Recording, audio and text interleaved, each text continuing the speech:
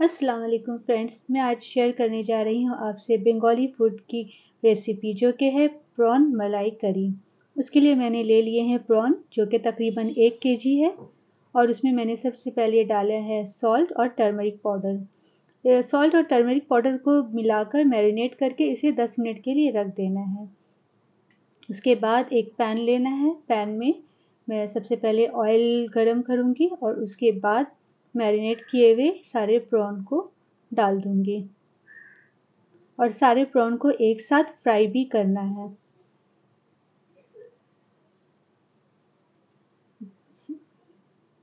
ये रेसिपी बनाना बहुत ही इजी है और सबका ये फेवरेट भी होता है। जैसे ही आप देखेंगे कि इसकी पानी सूख गए हैं और तब समझ जाइए कि प्रॉन फ्राई हो चुके हैं। और इधर मैंने एक साइड में एक होल कोकोनट को ल्यूक वॉम वाटर में क्रश करके डाल के रख दिया था ताकि मैं उसका कोकोनट मिल्क रेडी कर सकूँ। जब तक मेरे प्रॉन फ्राई हुए हो रहे हैं, मैंने सारे इंग्रेडिएंट्स मसाले रेडी कर लिए, जिसमें है तकरीबन salt red chilli powder turmeric powder ज़ीरा, धनिया black pepper powder ginger garlic paste एक चॉप्ड ऑनियन और दो ऑनियन पेस्ट दो ऑनियन के पेस्ट हैं और बे लीव्स है सिनेमन क्लॉस और कार्डमन है। जैसे ही सारे प्रॉन फ्राई हो जाएँगे, आप प्रॉन को मैं एक पैन में बाहर निकालूँगी।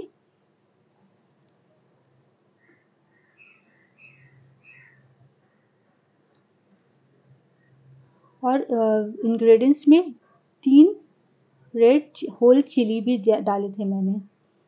ये सारे होल स्पाइसेस को मैं ऑयल में डालकर थोड़ा सा क्रैकल कर लूँगी। साथ में एक बे लीव्स भी। इसी टाइम पे मुझे रेड चिली भी देना था, लेकिन मैं भूल गई तो मैं बाद में दी। अच्छा वन चॉप्ड ऑनियन ऑनियन को थोड़ा सा बस हल्का सा ब्राउन करना है। ज़्यादा डार्क नहीं करना है, वरना ग्रेवी का कलर काफ़ी ब्लैक हो जाएगा। उसके बाद ऑनियन पेस्ट डालकर इसे अच्छी तरह से मिक्स कर लेना है। मिक्स करने के बाद पाँच मिनट के लिए बस मैं ऑनियन को पकाऊँगी और उसके बाद उसमें मैं डालूँगी जिंजर गार्लिक पेस्ट ये बस अब इस तरह से पाँच मिनट पकाने के बाद इसमें डाल देना है जिंजर गार्लिक पेस्ट और जिंजर गार्लिक पेस्ट डालने के बाद भी उसे पाँच मिनट के लिए मैं पकाऊँगी ढककर मसाले को। जैसे ही पाँच मिनट हो जाए, फिर आप सारे पाउडर मसाला उसमें डाल दीजिए ग्रेवी में।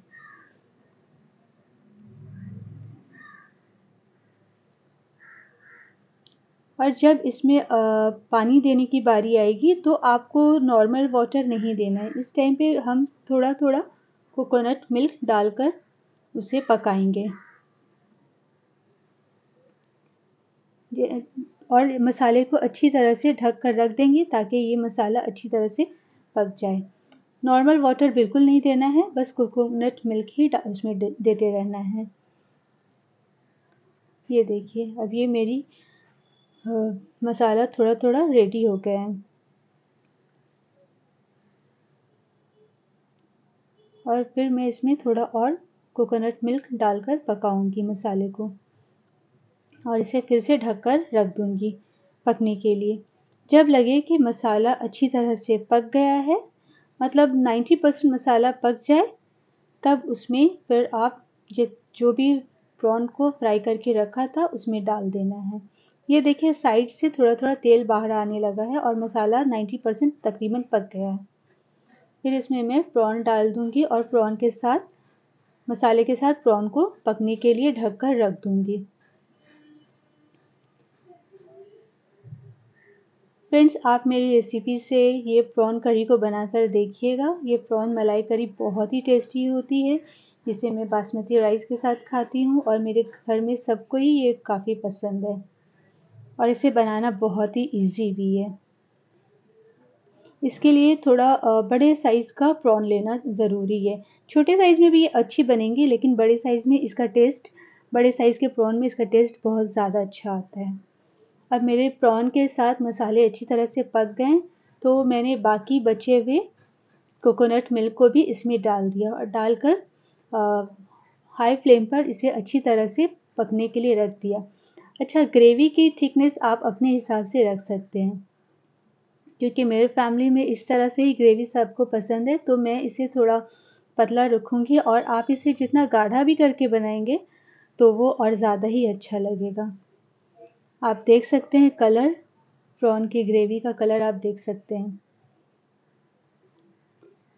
तो यहाँ पे मेरी ग्रेवी कंप्लीट हो गई है। अब इसमें ऊपर से डालना है एक टेबल स्पून गरम मसाला पाउडर और एक चम्मच देसी घी।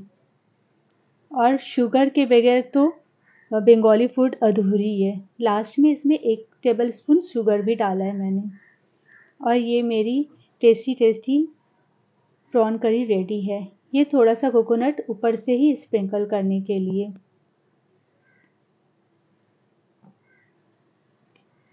और ये मेरी टेस्टी टेस्टी मलाई करी, प्रॉन मलाई करी रेडी हो गई है। आप ज़रूर इसे ट्राई करिएगा और मुझे बताइएगा ये कैसी बनी है। इसे आप रोटी के साथ भी खा सकते हैं, लेकिन चावल के साथ इसकी टेस्ट और ज़्यादा अच्छी लगती है, और ख़ासकर बासमती राइस के साथ। तो मैं इसे ले रही हूँ बासमती राइस के साथ। आप इसे ज़रूर ट्राई करिएगा। ठीक है तो फिर ये थी मेरी आज की रेसिपी मेरी आज की व्लॉग्स आप मेरी, अगर आपको मेरी ये वीडियो पसंद आए तो प्लीज़ प्लीज़ प्लीज़ मेरे वीडियो को लाइक करिएगा चैनल को सब्सक्राइब एंड शेयर ज़रूर करिएगा। तो फिर मिलती हूँ आपसे नेक्स्ट वीडियो में। आ, कोई अच्छी सी रेसिपी के साथ। तब तक के लिए अल्लाह हाफिज़।